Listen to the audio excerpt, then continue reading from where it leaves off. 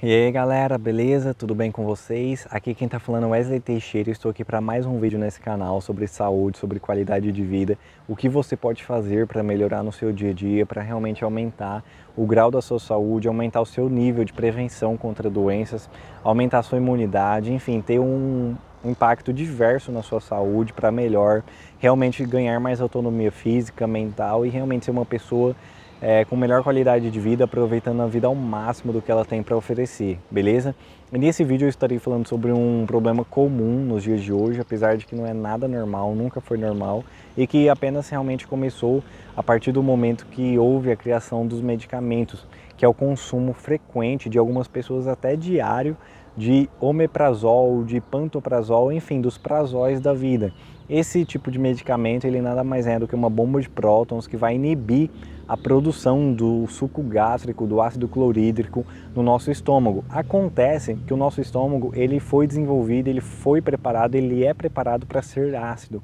Ele tem que ser ácido, porque através do ácido no estômago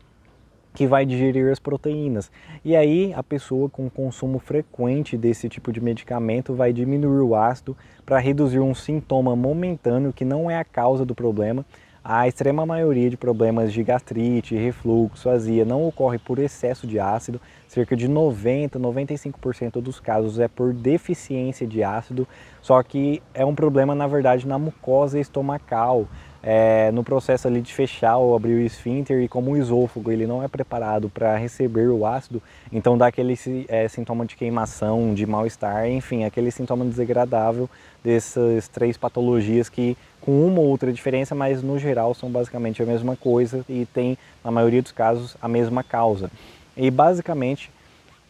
é o problema, né, do, na verdade, desses patologias, desses problemas de saúde, eles são causados por uma alimentação industrializada, com excesso de açúcares, de farináceos, né, de farinhas refinadas, de massas, de produtos cheios de corantes, conservantes sintéticos e, enfim, de hábitos de vida como sedentarismo também, como é, a pessoa acabar de comer e deitar. Isso no médio e longo prazo vai prejudicando a qualidade de vida, o sistema, digesto, o sistema digestório, a saúde gastrointestinal e chega ao ponto de ter essa patologia.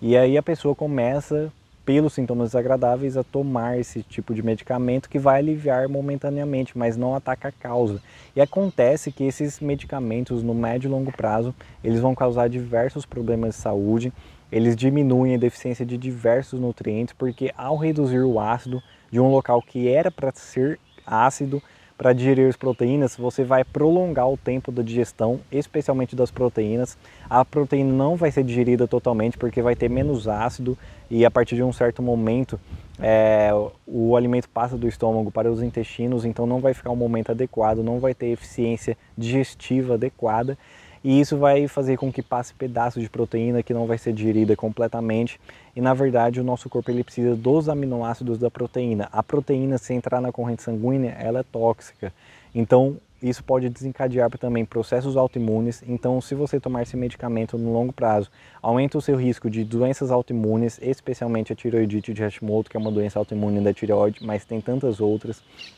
e, claro, de vários outros problemas de saúde decorrentes de uma digestão deficiente, ou seja, de um processo de indigestão. A pessoa não vai conseguir digerir da forma mais adequada possível não só a proteína, mas qualquer outro macronutriente, qualquer outro alimento vai ser digerido de forma incompleta pela deficiência do ácido clorídrico. É, o, o, estômago ele tem a mucosa, ou pelo menos deveria ter, né, preparada para realmente ser ácida, ser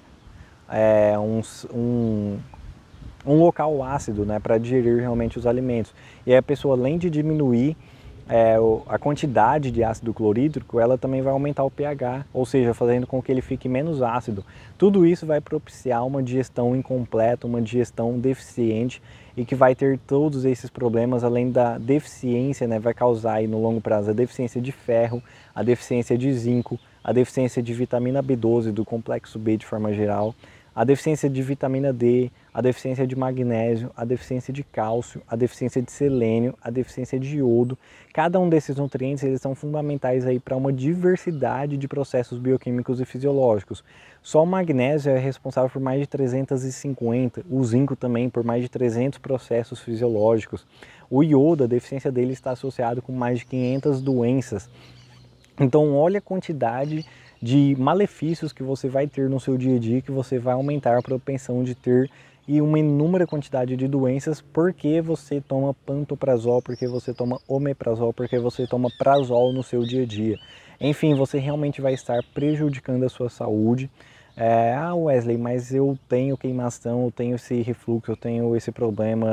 enfim, eu tenho essa patologia, o que, que eu posso fazer para melhorar? Eu estarei fazendo vídeos né, mais específicos sobre esse assunto, mas de forma geral é mudar o seu estilo de vida, é mudar sua alimentação para uma alimentação mais saudável, mais é, natural, dos alimentos que são providos pela natureza, ou seja, aqueles alimentos é, que são a base de origem animal, os alimentos como ve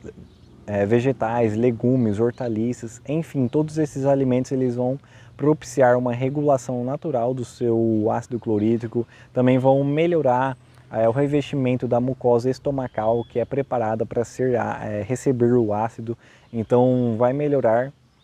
é, realmente o seu sistema digestivo como um todo, vai aumentar o ácido clorídrico, vai reduzir o pH para que ele seja mais ácido, vai melhorar o revestimento da sua mucosa estomacal, ou seja, mesmo com mais ácido e com um ácido mais ácido né, do que para o lado mais alcalino, você vai ter menos sintomas, porque a sua mucosa foi revestida adequadamente, foi preparada para isso. E aí você, com uma alimentação saudável, principalmente se associar com a prática de exercício físico, que também contribui para a regulação do ácido, tanto a quantidade quanto o nível de acidez dele, é, também para o revestimento da mucosa através da produção dos hormônios, dos neurotransmissores, se você tiver um sono de qualidade também, você vai reduzir o seu estresse. O estresse é um dos fatores causais também para sintomas de gastrite, de azia, de refluxo.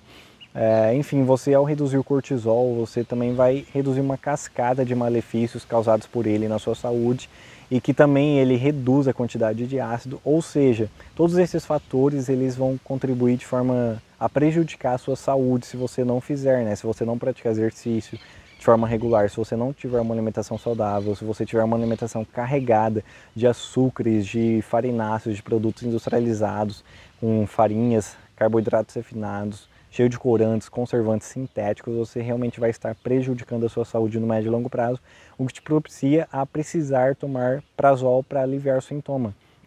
mas o prazol ele vai na verdade apenas atacar o sintoma momentâneo, ele não resolve a causa do seu problema, pelo contrário, no médio e longo prazo até aumenta é, esse problema e você vai ter que tomar cada vez mais, né, ou uma cápsula a mais, ou em maior quantidade, né, em dosagem por cápsula e assim por diante. Aliás, se você for ler a búbula, você vai ler, você vai ver também a quantidade exorbitante de problemas de saúde que ele causa. Eu citei aqui alguns, né, a deficiência de cada um desses nutrientes, que já seria o suficiente para a pessoa ter consciência e não tomar ele, né, para a pessoa realmente melhorar o seu estilo de vida. Enfim, mas ele também está associado com úlceras gástricas, com cânceres né, do estômago, do intestino. Então ele realmente causa uma inúmera quantidade de patologias, aumenta a quantidade. Né? Quando fala que um medicamento causa determinada é, problema de saúde, quando fala que um nutriente tem diversos benefícios, tem tal benefício, tem tal ajuda na prevenção de tal doença porque já foi estudado em alguns estudos científicos e a extrema maioria de estudos randomizados, ou seja, que um grupo de pessoas que tomou tal medicamento teve tal uma maior incidência daquele problema de saúde ou que tomou tal nutriente teve uma maior é, prevenção de tal doença, teve uma maior eficiência naquele benefício específico, enfim. É por isso que fala que tal nutriente é benéfico para isso ou para aquilo, que tal medicamento, apesar de aliviar o sintoma momentâneo, ele vai ser é ruim para isso ou para aquilo, vai aumentar a propensão de tal doença ou daquela doença. Enfim, então se você é uma pessoa que toma prazol,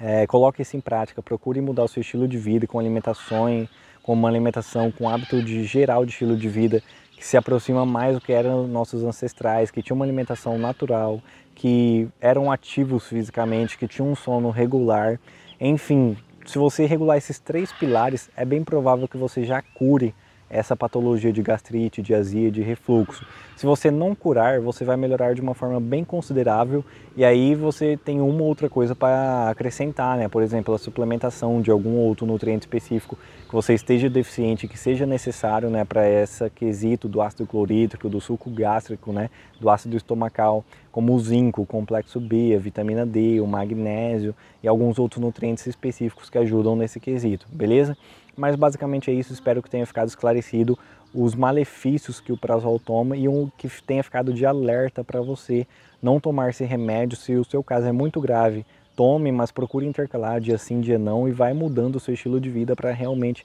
abandonar esse remédio e sem precisar realmente uma saúde digestiva, uma eficiência digestiva da melhor maneira possível, ok? Porque isso realmente vai impactar na sua qualidade de vida em diversos aspectos, ok? Se você gostou, inscreva-se no canal, aperte o sininho para receber os próximos vídeos, né? não só sobre a saúde digestiva, mas sobre o corpo como um todo, porque é isso que eu vou estar fazendo aqui. Né? Geralmente os médicos se especializam em uma área específica e não chega um coração no consultório, não chega um cérebro no consultório, não chega um rim no consultório, mas chega uma pessoa com um sistema complexo e tudo é interligado no nosso corpo. Então, ao você mudar seu estilo de vida para melhor, você vai estar melhorando todo o seu sistema, né, extremamente complexo e simples ao mesmo tempo, realmente para agir da melhor eficiência possível, ok? Mas basicamente é isso. Se você gostou, dê o seu like. Se não gostou, dê o seu dislike. Comenta por que, que você não gostou, o que, que eu posso estar fazendo para melhorar. Sucesso uma saúde de excelência para todos nós. Compartilhe esse vídeo com seus amigos familiares e até o próximo vídeo, galera. Falou!